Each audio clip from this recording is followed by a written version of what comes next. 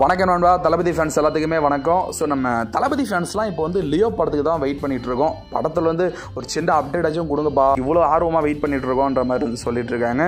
So இப்போ எல்லா இண்டஸ்ட்ரியும் எடுத்துக்குமே இப்போ வந்து தெலுங்கு இண்டஸ்ட்ரின்னு எடுத்துகிட்டா அவங்க வந்து பாகுபலி ட்ரிபிள் ஆறு புஷ்பா அப்படின்ற மாதிரி ஒரு பெரிய வெற்றி கொடுத்துருக்காங்க.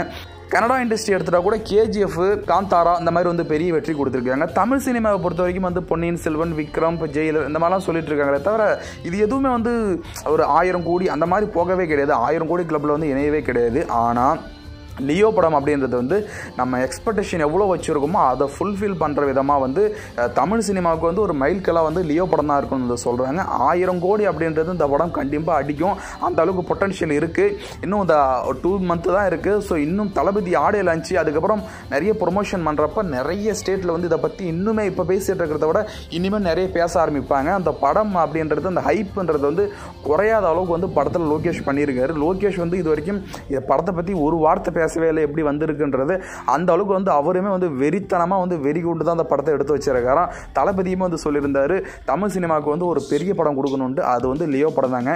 கண்டிப்பாக அந்த படம் ஆயிரம் கோடி அடிக்கும் அப்படின்றது வந்து எல்லாமே வந்து சொல்லிட்டு இருக்காங்க. ஸோ இது போல் அப்டேட்ஸ்லாம் உங்களுக்கு உடனுக்குடன் வேணும்னா நம்ம சேனலை சப்ஸ்கிரைப் பண்ணுங்கள் தேங்க்யூ